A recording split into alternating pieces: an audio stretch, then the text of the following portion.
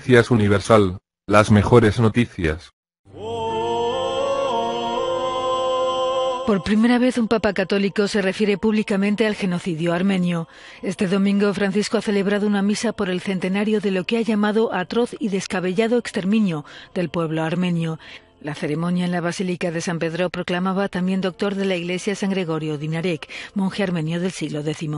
La nuestra humanidad nuestra humanidad ha vivido en el siglo pasado tres grandes tragedias inauditas. Tres grandes tragedias inauditas.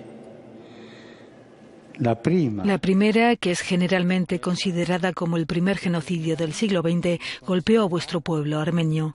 Los otros dos fueron el nazismo y el estalinismo. Del XX secolo. Esa ha colpito il vostro popolo armeno. Su declaración sobre este genocidio reconocido por 22 países podría perturbar las relaciones del Vaticano con Turquía.